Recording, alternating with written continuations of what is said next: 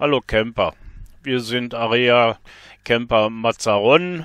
Dieser Campingplatz liegt ja zwischen dem Hafen Mazzaron und der Stadt Mazzaron. So, und von dort aus haben wir auch ein paar kleinere Ausflüge unternommen. Samstags ist in der Stadt Mazzaron Markt, also sind wir auf Samstag nach Mazzaron Stadt reingefahren, haben auch mit unserem Smarty einen Parkplatz finden können und das war nicht weit bis zum Markt.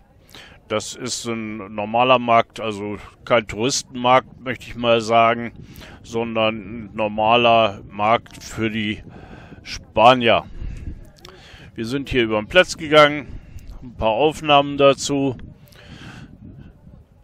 Silvia hat natürlich einiges angucken müssen.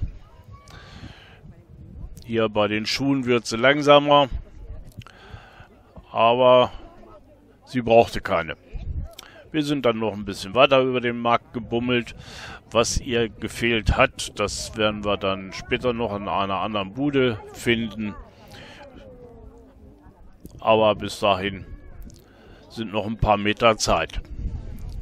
So, hier sind wir an einem Bekleidungsstand. Ich habe mich mit ihr noch unterhalten. Dann sind wir eigentlich ein bisschen weitergegangen. Und Ihr seht es, sie biegt ab, ich bekomme das gar nicht mit. Und so ging mir meine Silvia erstmal verschütt. Nachdem ich dann hier um die Ecke gegangen bin, habe ich das dann gemerkt, dass sie gar nicht hinter mir hergekommen ist. Nachdem wir dann weiter waren, hat sie endlich die Bude gefunden, die ihr wichtig ist. Choros. Sie hat dann die durchgebackenen genommen, die großen braunen. Mir hat das nicht so gefallen. Äh, die anderen, denke ich, schmecken leckerer. Aber Silvia meinte, die schmecken alle gleich. Wir sind dann noch ein bisschen vom Markt weggegangen, durch den Ort gebummelt. Ach ja, ein paar Kartoffeln haben wir uns noch mitgenommen. Und ein paar Clementinen. Dann sind wir noch ein bisschen durch den Ort gebummelt, wie man hier sieht, typischen engen spanischen Straßen, die schmalen Fußwege. Aber die Spanierinnen schaffen es auch hier mit dem Kinderwagen drauf lang zu fahren. Und es gibt nicht wie bei uns zu Hause in Deutschland Theater, weil der Fußweg zu schmal ist. Man lebt mit dem, wie die Gegebenheiten so sind. Hier sieht man es nochmal. Aber es gibt auch Neueres dort in der Stadt. Hier zum Beispiel ist das Rathaus. Ein imposantes Gebäude kann man eigentlich sagen. Fällt da zwischen den alten Gemäuern richtig auf. Ist ein Blickfang. Hier ist der Straßenverkehr ausgesperrt. Wir sind dann über den Platz gegangen. Wird natürlich hier in Spanien alles so ein bisschen genutzt, um draußen sich hinsetzen zu können, Kaffee zu trinken und so weiter. Hier haben wir es mal wieder. Enge Straße. Ist wie es ist. Man lebt damit. Das sollen dann die Bilder aus Mazzaron-Stadt auch schon gewesen sein. Das nächste, was wir aufgesucht haben, die berühmt-berüchtigte Schlangenbucht. In der Zeitung Costa Nachrichten haben wir lesen können, dass die Schlangenbucht jetzt zu ist. Wir haben dann noch zwei Tage gewartet, sind dann dahin gefahren und haben dann diese Bilder vorgefunden. Äh, es hat sich also nichts verändert. Die Schlangenbucht ist voll bepackt mit Wohnmobilen. An der Einfahrt sitzt jemand, der aufpasst, dass alles registriert wird, wer da auftaucht und wer nicht. Wir waren mit unserem Smart dahin, haben den vor der Schranke geparkt und sind dann zu Fuß mal übers Gelände gegangen. Es ist natürlich schon eigentlich eine traumhafte Bucht. Für mich persönlich wäre es allerdings nichts, um da, wer weiß wie lange zu stehen. Ich könnte mir mal vorstellen, so autark äh, zwei, drei Tage da mal zuzubringen, aber eine Woche oder so möchte ich das eigentlich gar nicht. Das ist eine Sache, das muss jeder selber für sich einschätzen. was ihm gefällt. Wie gesagt, wir haben den Bereich zu Fuß ein bisschen begangen. Ist natürlich wirklich mit den Palmen, die da stehen, äh, idyllisch. Man hört vorne am Strand eben nur das Plätschern der Wellen.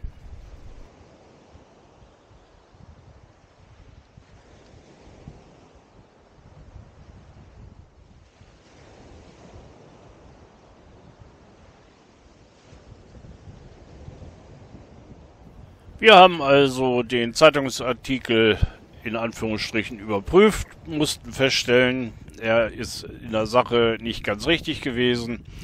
Da stehen, denke ich, weit über 100 Wohnmobile in der Bucht auf den beiden Platzbereichen.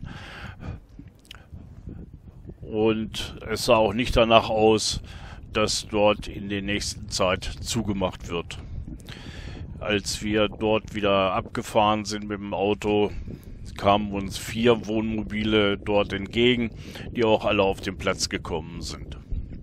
Hier nochmal eine Aufnahme von, ja, das sollte wohl Bar-Imbissbereich mal werden. Das gute Stück steht wohl schon eine längere Zeit so leer da, darf wohl nicht betrieben werden.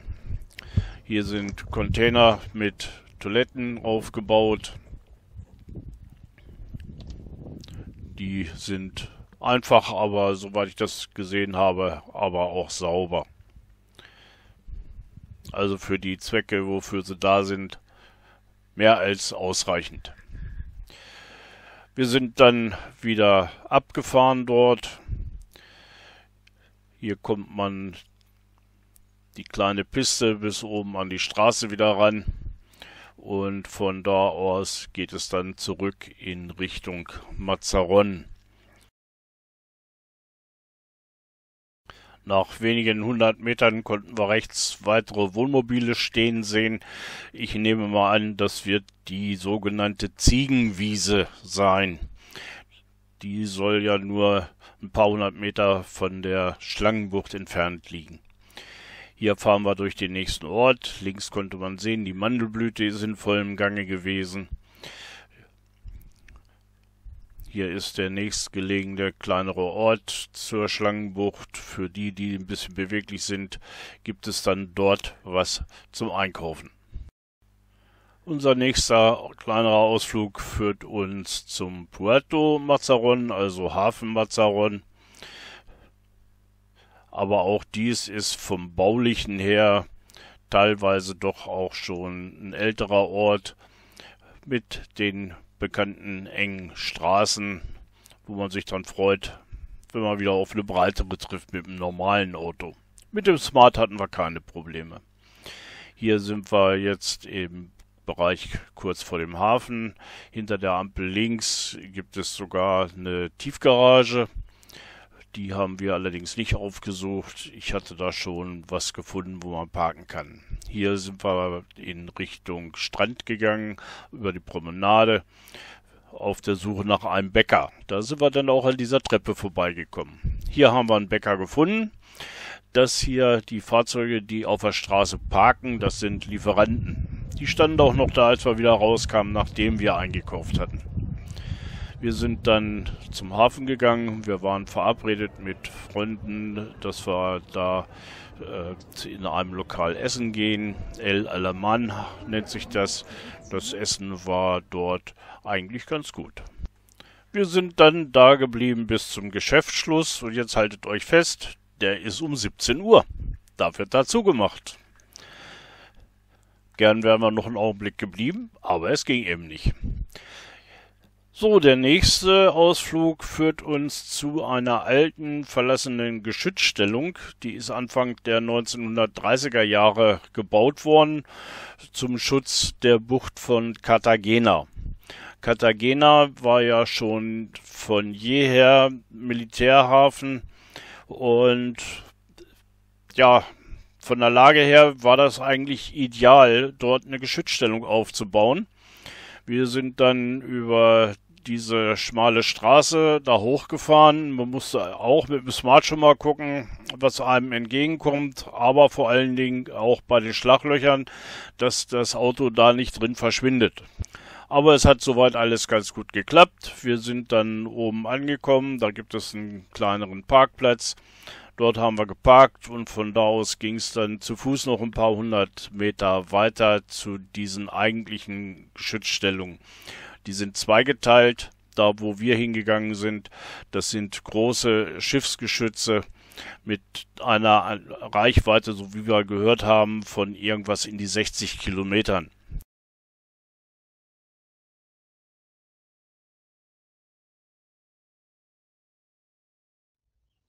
hatte zwischendurch Schnappatmung.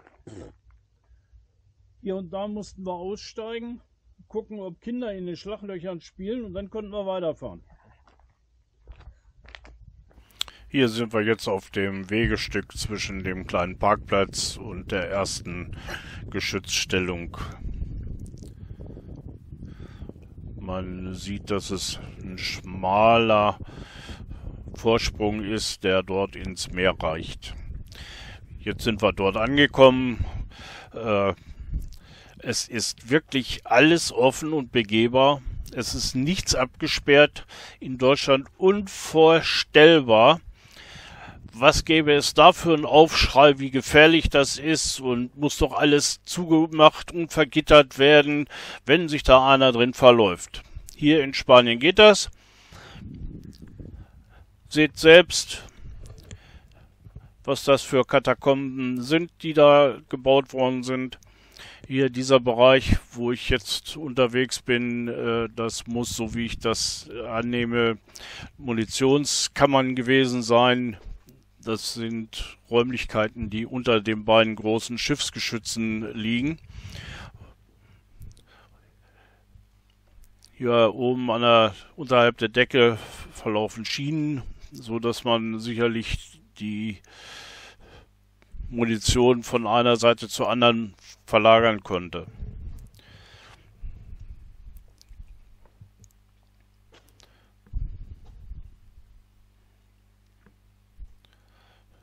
Ihr seht es, man kann dort hineingehen. Es ist aber sinnvoll, eine Taschenlampe mitzuhaben, sonst ist das nichts. Hier bin ich aus diesem Bereich mit den Munitionskammern wieder raus. Wir sehen da ein paar, also vier Türme, die bis nach unten gehen. Das sind Wendeltreppen zwischen untere Etage und hier dieser Etage mit den Geschützen. Davon gibt es dort zwei Stück. Ihr könnt jetzt schon erkennen, dass das nicht die kleinsten sind. Wie gesagt, die Reichweite soll irgendwas angeblich in die 60 Kilometer gewesen sein. Man kann auf denen drauf rumklettern. Ich äh, wollte das auch machen, mich mal aufs Rohr dieser Kanone stellen. Allerdings meine Schuhe, die Sohlen waren zu glatt. Das war doch nichts. Ich habe mich da nicht getraut, da loszulassen, bin dann wieder runter. Und wie ich schon gesagt habe, es ist alles begehbar. Nichts ist abgesperrt in die dunkelsten Löcher kann man dort gehen. Alles kein Problem. Hier gehe ich mal so ein Stückchen die Treppe runter.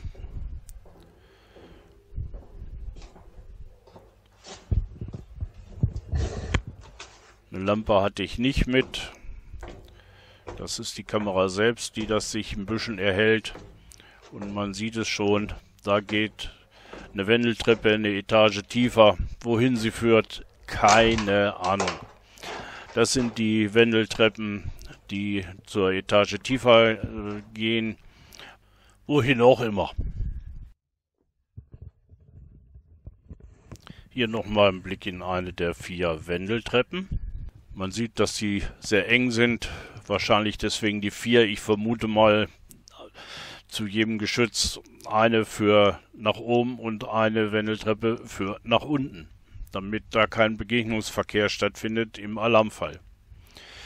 Von hier aus jetzt der Blick vorne auf die Felsen, da sind ebenfalls Geschütze aufgebaut, das sind allerdings kleinere mit einer kürzeren Reichweite, aber die bräuchte auch nicht, wer weiß wie weit sein, denn von hier bis zur anderen Landzunge gegenüber der Bucht sind es ungefähr 12, 13 Kilometer. Dafür werden diese Geschütze ausreichend gewesen sein.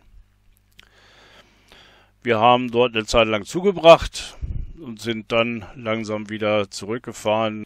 Es war also schon eine tolle Erfahrung dort vor Ort in diesen Geschützstellungen. Vor allen Dingen, wie gesagt, dass das alles frei zugänglich ist. Wir sind dann nach Mazeronhafen gefahren. Wir hatten gehört, da gibt es noch einen Stellplatz, äh, so einen kostenlosen. Da haben wir mal geguckt, haben den dann auch gefunden. Der liegt direkt am Wasser. Das ist ein Platz, äh, soweit wir das mitbekommen haben, dient der zum Beispiel zur Weihnachtszeit da für Weihnachtsmärkte und so. Und offenbar ist das jetzt dort erlaubt, sich aufzustellen mit dem Wohnmobil. Wir haben da nur eine Runde über den Platz gedreht. Ihr konntet das jetzt schon sehen, wie viel da standen. Also der Platz war komplett belegt. Hinterher sind wir dann wieder in Richtung Campingplatz gefahren. Hier nochmal ein Bild zur Lage dieses Stellplatzes. Und jetzt ist schon unsere Zeit im Mazaron vorbei. Ich muss demontieren den Abwasserschlauch. Man konnte sehen, das ist ein Torelement. Da ist ein Scharnier dran rechts. Allerdings hatten sie nur, wohl nur noch eins und darum haben sie das äh, Element einfach festgeschraubt, sodass sich das nicht öffnen ließ. Und dann war eben diese Nummer im Sitzen über dem Betonklotz nötig, um auf die andere Seite zu kommen. Da sind die Anschlüsse für die Abwasserschläuche. Das ist also sehr gut gemacht. Ich bin jetzt auf dem Weg zur Rezeption, damit wir bezahlen. Silvia war mitgekommen mit der Kamera. Lässt sie noch einen kleinen Augenblick dort laufen, damit er euch ein Bild machen könnt, wie es da in der Rezeption aussieht. Wir wollten schon bezahlen.